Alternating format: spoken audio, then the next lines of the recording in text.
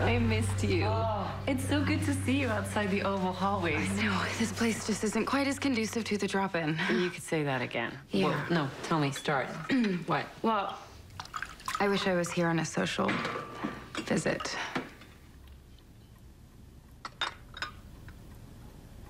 Yesterday, Aaron asked me if I knew a Jeffrey Myers.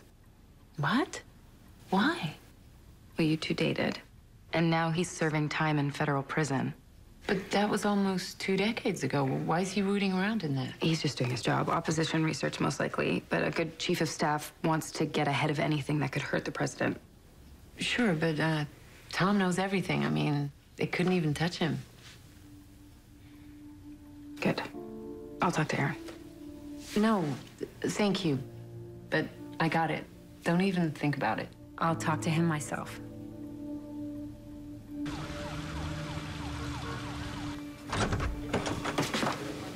Mrs. Kirkman?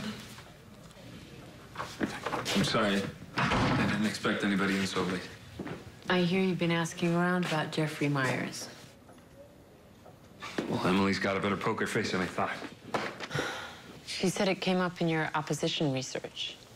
Yeah, So you know we had a relationship and you know he's in prison. I do. And so does Tom. Every detail.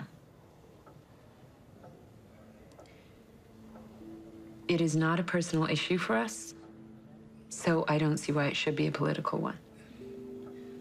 It shouldn't be. Except Jeffrey Myers has been telling everyone in his federal prison in Pennsylvania that he's the father of your son.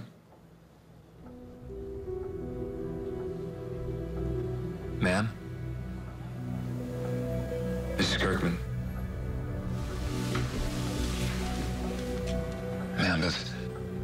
does Leo know that the president might not be his father?